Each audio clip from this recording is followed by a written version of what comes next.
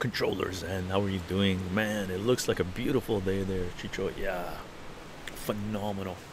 I've been working in the patio for a couple of days now just gardening buying soil bringing mixing the soil um, yeah, potting stuff and whatnot.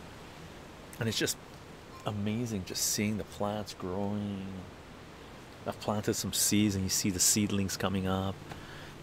It's it's health it's mental physical emotional spiritual like just fucking amazing right